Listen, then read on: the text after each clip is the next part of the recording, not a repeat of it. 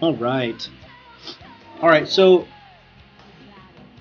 let me get my gold. Let me get my gold. Me pot of gold. Oi, get me pot of gold, my guy.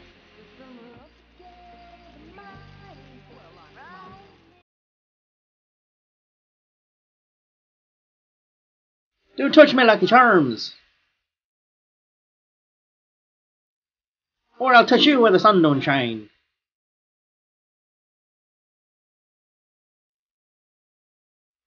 Alright, so let's get that out. Okay, so as far as levels go, for me in particular, there's a couple ways to approach. There's a couple ways to approach Adagio, guys. A couple ways to approach it. One, Roam Adagio or Jungle Adagio or Lane Adagio, Crystal. So it's Roam support item Adagio or Crystal weapon speed Adagio is kind of what um, kind of what you want to do. I won't do Adagio on YouTube for now because it changes in 1.15 patch, but maybe the next time. But thanks for reminding me, Cheerful.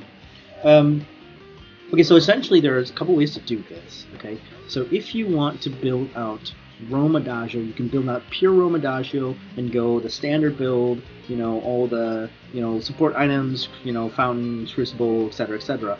Or you can start out as an offensive Adagio, leverage his capabilities in terms of his strong, strong, strong, strong, strong, strong, strong uh, damage buff, his Agent of Wrath, which deals 50% more base damage to enemies burning with Arcane Fire, which means you always want to try to get Arcane Fire on your enemies first, right?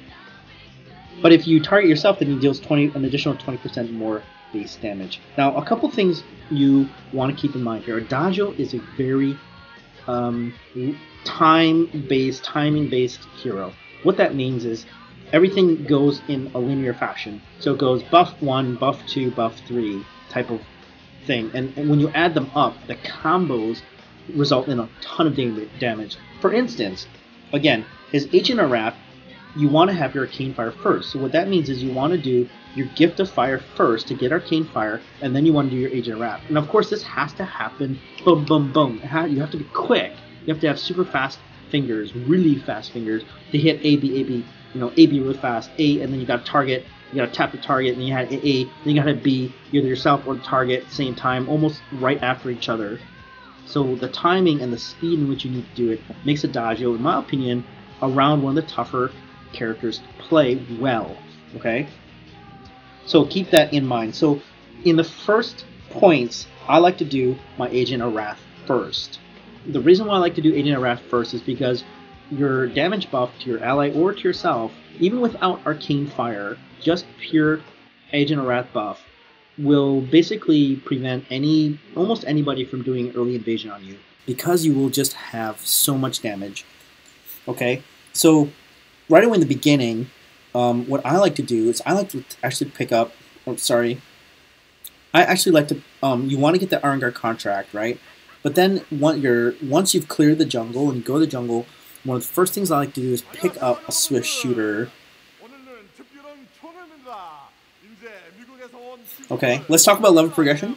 Um, you want to max out definitely as much as possible. You want to max out your Agent of Wrath first, in my opinion, and then your heal if you are going, I'm talking about Roam, Roam Adagio right now, guys. Roam Adagio, Roam Adagio, Roam Adagio. So you want to get your your B, and then your ultimate. Okay. Now your first trip, now your first trip down to the shop, I actually like to pick up a Swift Shooter.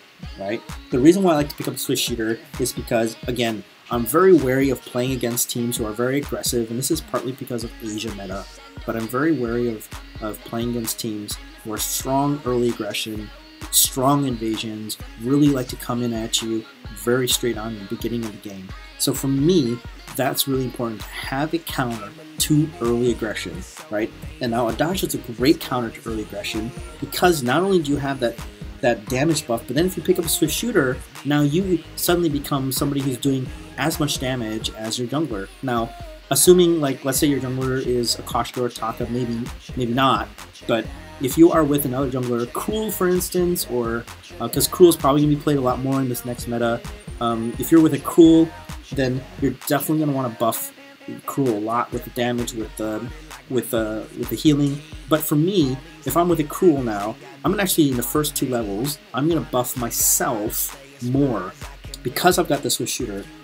So when I buff myself, you got that fast attack speed, right? But you also have the range. Keep in mind, Adagio is one of the one of the, the longest range auto attacks of any character. He's super long range. Him and Petal traditionally have always had just a massive range, and so your ability to poke from distance when you got that damage buff on makes you very very strong in the early game, right? So always consider possibly picking up that Swift Shooter. Now from here on out, you want to pick up your tier one boots and then you want to go quickly into Stormguard because not only do you now have, not only do you now have, um, and this is a very offensive roam build I'm talking about. Okay, now do you only not only have damage from the Stormguard, but you also have damage from your own buff along with a little bit of that weapon speed. Now from here on out, then you want to go back and you want to start building up your your defense. Okay, get your tier three item in, then look at building up your boots a little bit, then start looking at building up your second item. You could even build this up to Blazing Salvo, that's fine. You don't have to, but you can if you want to. It helps a lot if you do. Okay, and then from here on out, another thing you can do is you can start building out Crystal. Now, if you have enough gold to eventually get this, um, eventually get this um, Shatterglass, makes a big difference. It makes a big difference. So if you are able to, if you're able to get that Shatter Glass in, then um, what happens is all your buffs, all your heals, all your damage gets amplified a lot, a ton actually, because of that crystal. Right? So you're doing 140, you're seeing there 140 crystal damage really, really fast. Now, if I heal myself and then I do buff and they're burning, now look how much damage 171. Right? So I'm doing 140 base with that. But if I heat burn first, and then I hit him. Now I'm doing 171, 171, 171. So essentially what you're seeing here is a 15% increase. So you're 140, 171. So it, and then you've got the fast weapon speed because you're, you know, Blazing Salvo is pretty fast. You know, when you're getting hit by that much damage really fast, you know, it's actually it's quite a bit. And then on top of that, you've got the Stormguard banner, right? So if you think about it, You know, you, you can be doing a lot of damage really, really quickly, okay, as that roam character. And, and then on top of that, all your abilities are going to get even more. So you're going to get more heal, you're going to get more um, damage, and your your Verse of Judgement, your ultimate's also going to do more. Let's see how much heal I get when I take damage here from this. So I get a lot of heal.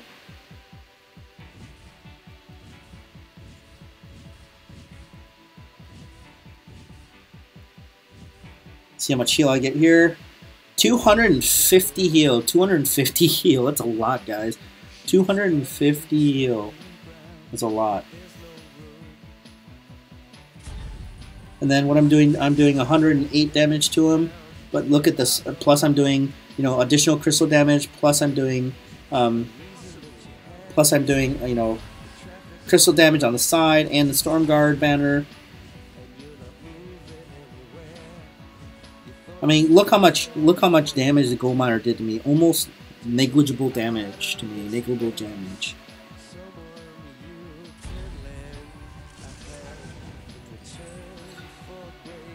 Alright, so one thing I do want to mention here, guys. So let's talk about, so this is a little bit of the build. Now you can eventually sell this if you need to sell this for a different item. You know, Bonesaw is a really good item to have because then what you can do is you can shred armor across for your team so your your weapon carry, whether it's a Ringo or whoever it is, doesn't need to pick up a Bonesaw. That's great because then he can go double Tyrant's Monocle. He can go, you know, whatever else he wants to go. So picking up a Bonesaw is even nice too. This gives you a nice 50% attack speed. So you go from 35 attack speed at Blazing Salvo up to 50% attack speed, which is again more attack speed is better for Adagio because every single time you're going to be in there doing damage from range, and that's going to help your team a lot. Okay. Autocorrect, do you prefer to buff B then A or buff A then B?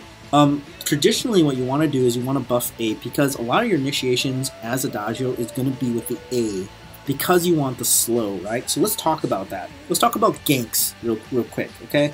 Let's say there's an enemy here, okay? Now, there's a couple things you want to do here. You can use your boots here to come in quickly and then get your A. But you want to get your A off as soon as possible because of two reasons. One, slow. Two, arcane fire. Because once you got the arcane fire, again, if we read the notes for Agent of Wrath, when you buff with Agent of Wrath, it deals 50% more base damage to enemies burning with arcane fire. That's a hell of a lot. 50%. That's massive. There's no other skill that does that much damage buff. None. Zero. So it's major. So it makes a big difference if you do that, right? Now, his Gift of Fire, he slows enemies by 70% for 1.5 seconds. Now let's look at let's look at Shiver Steel. Shiver Steel has a 2 second if you're melee, 0.6 seconds if you're range. So let's take the maximum value for Shiver Steel, which is 2 seconds, right? It slows the target by 40% for 2 seconds. Okay, so 40% for 2 seconds for Shiver Steel. 70% for 1.5 seconds with Adagio's Gift of Fire. And that's on all, whenever. You know, you can put that on whenever you want. So it's a massive slow. It has a fairly long duration. And it also had, does damage over time with Arcane Fire, as well as buffing the damage on your B skill, right? So it's super important for you to come in, boom, hit your A skill, boom, hit your B skill, either on your enemy or yourself, and then bam, nail the nail them guy, and they will melt. They will melt. They will melt. They will absolutely melt. On a Ringo, they it will, you know anyone who does range attacks, they will absolutely melt. So what you want to do is you want to come in, boom, boom, hit this, and then boom, you want to hit your your teammate with that damage buff or whoever it is to make sure that they're doing that max damage. Okay, so boom, you want to slow, you want to hit them with that um, with that with the B skill, and so you want to be sure you're doing that in succession, very quick. You got to have fast fingers, faster than how I did it, even if you want to be successful in this. Now, the other thing you got to keep in mind, however, that you're going to be running low on energy. That's the only thing you need to consider about this. So in that case, what you may want to do is you may want to modify your build path slightly, right? And so you'll go Iron Guard contract, boots, so shooter, uh, energy battery, Okar. You can spread it out this way if you want to do it, and then go into Stormguard banner, then go into Life Spring, uh, then go into Fountain Renewal, then go into uh, Void Battery, Blazing Salvo, Tier 2 Boots, and you could go this way if you want to do it. You know, and then start building out a little bit of Crystal, right? And maybe get your Frostburn, because you're not going to forge Glass usually. Get your Eve of Harvest, build this into Bone Saw. You got your Tier 3 Boots. Then you can build this into either um, Warhorn or Contraption, depending on what your need is. If you want to get the Warhorn in, you get the Warhorn in. So then what what this type of build does is this is major, major amount of offensive power, right? To um, to your teammates, to yourself, to your enemies. I mean, it's just it's just major, major, major, major. And when you're running the clockwork, not only do you ensure that your ultimate is up, but you're ensuring that you've got energy reserves. You're ensuring other things. Uh, the additional soul from Frostburn is nice to have. The reason why I get it, um, because I'm basically assuming you're not going to be able to afford a full Shatterglass um, in the game, so you're to have to go for the cheap man's Shatterglass, which is the Frostburn. But obviously, if you can afford it and you're getting some gold bounty, then go ahead and pick up that Shatterglass. Now, this is a, like I said, this is a very, very offensive base build. This is assuming that your teammates are picking up their own defense. This is assuming you're just pushing, pushing, pushing, you know, you got a push comp where you can really go at them. Okay, so that's assuming that. Now, obviously, there's always going to be your traditional, your traditional build where you're going in, you know, with your life spring, you're rushing that fountain first, right? Tier two boots. Then you're going to start building out, you know, maybe Atlas Pauldron. You can get your Crucible, right? Then you're going to get your Warhorn or Contraption, whatever it is you want to get, right? You can always consider to do this as well um, just simply because your your attack speed and your range is long. So I find like Bonesaw and you know Bonesaw and just the fact that Adagio's range is so good, he can just sit there and just shred armor from distance, and the enemy won't even really take note of it. Won't even take note of it. So that's one thing to consider. Or from here, this is where you could pop in, get that Shattered Glass in there, but keep in mind your attack speed is going to be low. So the Shattered Glass in the Roam build is nice because what it does is it increases your heal power. So for instance, if he hits me for 954, I heal up for 250, right, with the Shattered Glass. Now if I sell the Shattered Glass,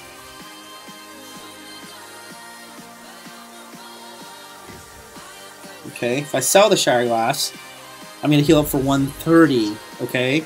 So keep that in mind. It's a massive difference. 130 heal to 150 heal, right? Or sorry, to 250 heal. So 130 to 250 heal, it's a massive, massive difference between having Shattered Glass and not having a Shattered Glass. Now Frostburn, okay? Now Frostburn. Frostburn is going to be 210, right? So Frostburn's 210, Shattered Glass is 250, no um, no uh, crystal item whatsoever is 130. So it's a massive difference. So it's definitely worth it as a Roam player to get the Shattered Glass, right? Let's look at damages for ultimates too. Okay. Or for buffs. Let's look at let's look up damage for buffs. Okay? There's 93 93 41 26 93 41 26 93 41 26, okay? Now let's look at it without the Shattered Glass. Okay, 41, 48, 41, 26. So it's a big difference. You're missing about, you know, 50 something damage difference with the shard without that Shattered Glass, right? So it makes a big difference. Let's look at ultimate differences. 335 on the ultimate with the Shattered Glass. Sell the, the Shattered Glass. Oh shit, I've got I got tons of I had 80 seconds to wait. No.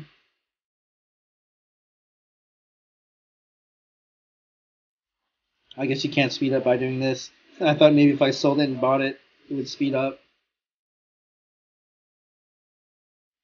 okay,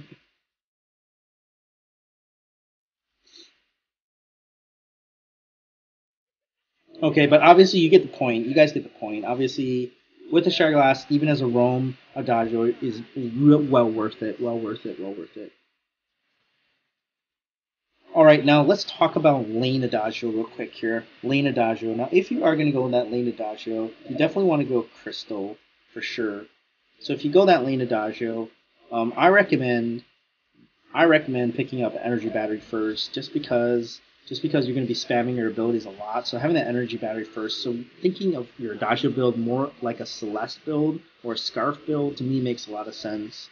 Okay, so what I like to do is I like to then pick up the Void battery, tier one boots, and then start building out my um, building out some attack speed, uh, blazing salvo, uh, heavy prism. Um, you can go into alternating current if you want. It, it does make sense to do it you're going to get a slight increase of attack speed and 50 crystal power. So, you know, that's a good item to get. So you can go this way, pick up your reflex block, pick up your tier 2 boots, and then start building out towards that Shattered Glass. You get that Shattered Glass in, you know, you can also go Broken Myth here if you need it, of course. You can go into Aftershock if you want to proc basic attacks, which are also quite nice to do. You know, so you can go Aftershock here. You can go um, build this out into your Aegis, build this into uh, Clockwork or Eve of Harvest, whichever one you feel you need at the moment. Just keep in mind um, your attack speed isn't going to be great. It's only 40%, but you know better than nothing, I guess. So with this build, you're going to be doing a ton of damage. You're going to be doing a lot of um, buffing yourself in particular to really kind of get that that damage going. And of course, your ultimate is going to be just doing massive amount of damage there.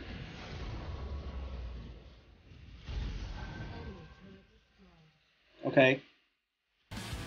So that's another thing you can do. Now, the uh, the other the other way you can build him is you can build him out with some some attack speed in the beginning. So you can start out with your energy battery.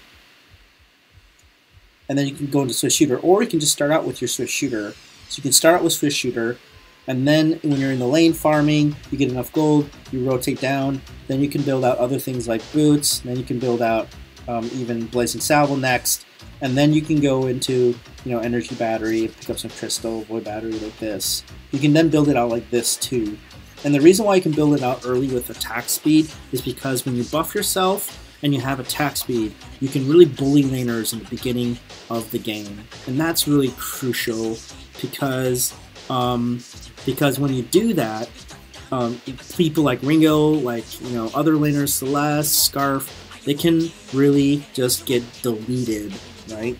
So it's good to have that attack speed early in the beginning of the game, and then building out Crystal once that once your buffs and some of your damage starts to fall off a bit in the late game.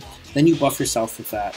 Get your alternating current locked in, pick up your reflex block, then looking at what you need to do tier 2 boots, then you start building out into that Shatterglass right there. Finish off your defense, then figure out do you need to build into any of these. If you do, then go ahead and build it. Otherwise, maybe you need to start out, maybe you need to start with another defense. You need to go double defense, maybe. That's possible as well. And then from here, you can go either of Harvest or Clockwork, right? If you don't need the double defense, then definitely pick up that Broken Myth. So then you're running this type of a, type of a comp. That's possible too. Now, if you if you do need Eve of Harvest, don't be afraid to get Eve of Harvest. Um, you're gonna be starting. You're gonna start to see some some um, healing from the burn.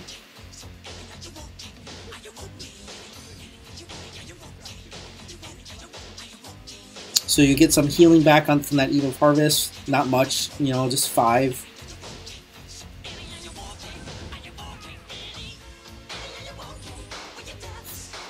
On that, so that's another way you can build it as well. So again, Adagio, to recap, Adagio really powerful in the first few levels because of that damage buff. So picking up some attack speed really crucial to help bully the laner. Um, also, when you are going to roam, getting an early uh, Iron, uh, Stormguard banner will really help in team fights in the early game because you'll be doing double damage with your buff as well as with the Stormguard banner.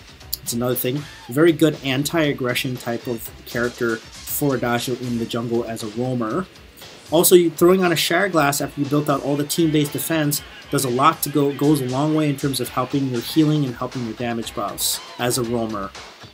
In the lane, you want to build out that alternating current, but don't be afraid to start out with a Swift Shooter or an energy battery um, if you want to be more passive an energy battery if you want to be more aggressive a shooter. And then that's what you can start going out from there. Uh, weapon adagio. Okay if you want to run weapon adagio which in my opinion is a bit counter to what um, he is but if you want to go weapon adagio then a lot of people go that weapon speed. A lot of them build out that weapon speed. They'll go they'll start out with that swift shooter even double swift shooter sometimes go into weapon blade you go into blazing salvo a lot of times um, then they'll start building out into um, the heavy steel pick up a couple boots from here on out. And then you know from here sometimes they go into that tornado trigger they go into that Sorrowblade um, defense to aegis tier 2 boots and then from here on it it really depends um, how they want to play it you know, their core build, your core two items are going to be that Sorrowblade and that um, Tornado Trigger. Now, if you are able to survive long enough, you can go Breaking Point here. Again, you want to get Breaking Point after you lock in a Sorrowblade because of the 125 damage uh, weapon power requirement cost that it carries. But if you don't if you don't survive very often the breaking point, then you may want to actually go crit route. You could slap on a Bonesaw if you need to. You could go the crit route here. You could do this this maximizes your your attack speed because you have 75% attack speed plus some critical damage here. So the critical damage then combines with the critical damage and the Tyrant's Monocle, which are both amplified by the damage of the upfront weapon power of the Sorrowblade. On top of that, Bone Saw combined with fast attack speed means that you're shredding armor across your enemy's um, base. This is going to allow your assassin or going to allow your jungler to then pick up some kills and do some more damage. That is another way to do it. If you want to be more conservative or if you are in a solo queue, then what you may want to consider doing is go with a Serpent's Mask. You, you know, um, if you're if the enemy's not focusing on you, you could pick up a breaking point instead here, and you could do this instead instead of the Tyrant's Monocle. But again, keep in mind with only a single defensive item, you might be quite squishy. Alright. That's going to do it for my Adagio review. Uh, who do we have for the second character? For the second character, uh, should I put up another vote? And any questions on Adagio, please let me know. Again, I think Adagio is really hard to play in solo queue because you need really good teamwork, you need voice communication, uh, you need to have that synchronization because you got to have timing down. It's all about timing with Adagio. Now, if you are a really amazing Adagio and you can kind of understand sometimes when your laner is going to push or you know, when you're at the turret, then yes, things like buffing damage, arcane fire, things like that, uh, or gift of fire is going to be important. But in team fights, knowing the timing of when somebody's jumping and initiating so that you can get a damage buff on them right before they hit the enemy with their attacks is really crucial. And when you do it right, it will absolutely melt. Um, in some points, it's a bit OP. So I don't know if you saw, but there's a there was a video clip, a Vine of Mish um, deleting out. I think it was Iraqi Zoro or Fuji on Sky. It literally like one shot deletion, two shot deletion, and essentially all it was is right before Mishi got his hit in uh, to the sky, he got damage buffed and they had arcane fire, and so he had was doing 50% damage to them on top of his own base damage, and that's what just absolutely deleted.